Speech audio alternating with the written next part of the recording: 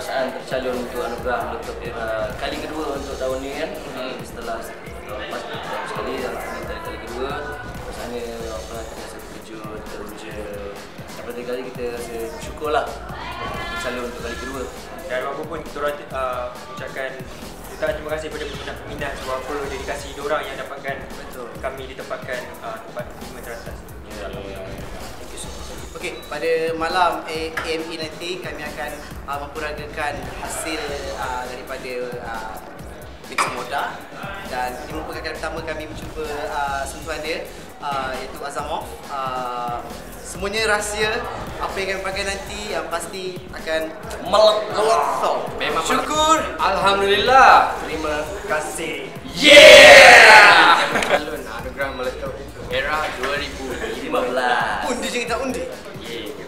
Angkat tangan. Angkat tangan. Angkat tangan. Angkat tangan. Angkat tangan.